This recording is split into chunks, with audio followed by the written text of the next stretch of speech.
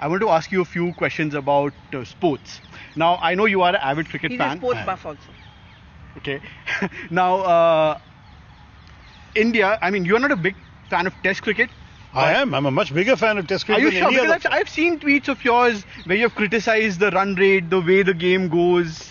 Yeah, because a test match is like reading a novel. You just get immersed in it. Exactly. Well, the other thing is something short and sort of so you can quickly fly, fling out So a what, do- reaction. what do you prefer, Test match or T20 Anytime. or ODI? Anytime What, what's your, what's Test your, what, anytime Test match. Test matches. Any Okay. In fact, my staff know this because with test matches, I make them uh, record live as well as highlights. Mm-hmm. Live, I almost never watch. So after a while, it gets deleted.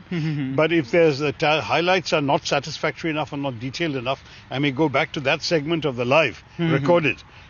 To watch it, I'm. Okay. that that obsessed. Because you know, honestly, I, I often tell people in terms of reading, like a, a test match is like reading a novel, uh, an ODI is like watching a, a movie or see reading a short story, and uh, uh, T20 is like watching a sitcom. you have great fun with the last one, but you forget about it within five minutes after it's happened. Uh, the ODI is slightly more memory, perhaps, it took, took a whole day, but the test matches are the real experiences that linger. So I have a question related to each from of my childhood, by the way. I have a question. I saw my first test match when I was seven. Oh wow, that young, huh?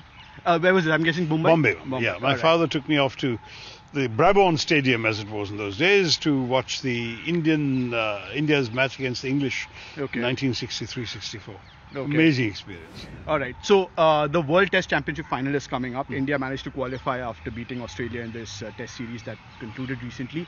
What's your take? Who do you think is going to win? Look, I think Australia are clearly the favourites Okay. Mm-hmm. in the World Test Championship and in the ODI Championship. They just have a very, very good team again. Okay. Mm-hmm. They went through a bit of a slump for a couple of years, but now they're back at their peak. Uh, we are not bad, but we have uh, a curious mixture of people whose talents are yet to fully flower. Could you elaborate on the like- curious bit? No, the curious mixture is there are some who's who who, who deserve their place in the Mm-hmm. side, but are still raw talents, and they have uh, great moments of success and brilliance, and some moments of you know flabbergasting Right, failure. right, right. Uh, and then we have that such as Gill and Yadav, and then you've got people um, uh, like Kohli. Uh, who have phenomenal levels of achievement, who at their best are the world's best, but who are not always at their best these days. Uh, and and so, uh, it, who's going to show up on the actual day on the actual match remains to be seen. I really hope that we will give a good account of ourselves. We have all the ingredients. We have an excellent pace attack, excellent spin bowling all rounders, very good batsmen. But if they go there and they fail to perform, what can we do? And why do you think that Australia will win the World Cup, the ODI, the 50 over World Cup, which is being played in India, where India are. Well, we just saw the reason yesterday, right? We saw the hmm. reason in the Chennai, where the Australians in India defeated an Indian team on home ground, mm-hmm. even though they don't have their full strength team. They've got a mm-hmm. couple of good players injured, uh, but they just have all the ingredients. They found the approach, and over a three-match series.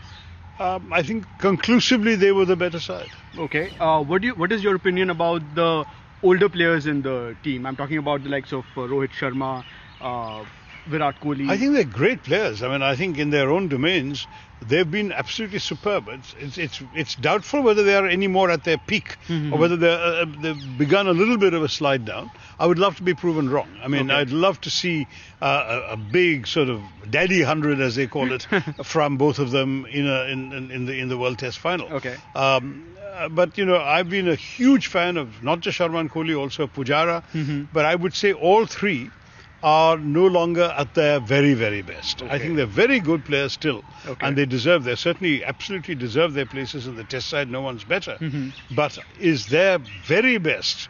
They're they're amongst the world's best and, and unplayable. Today, will will will we see that? I don't know. It remains to be Okay. seen.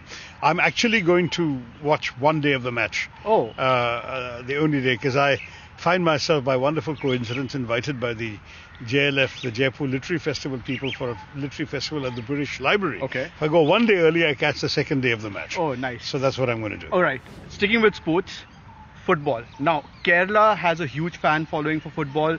I mean, it's borderline fanatical.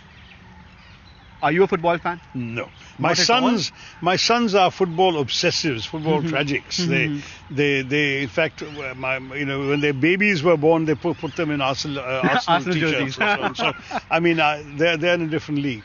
And I kind of ceded that space to them and stayed in my cricket. Mm-hmm. But obviously, I know about uh, you know the, the Kochi Blasters, and in my own constituency, I've been strongly supporting over the years a remarkable little football team of of uh, slum children, basically f- uh, fisher folk Mm-hmm. from the poorest communities on the sea coast in Kovalam, called the Kovalam Football Club, Mm-hmm. which um, has been doing extremely well.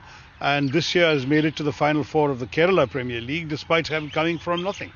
Uh, there's a philanthropist called uh, uh, T.J. Matthew and his American wife Sally who have put in their labor of love to give these guys, uh, create a hostel for them so they can have meals and training and so on, and just sheer hard work and talent.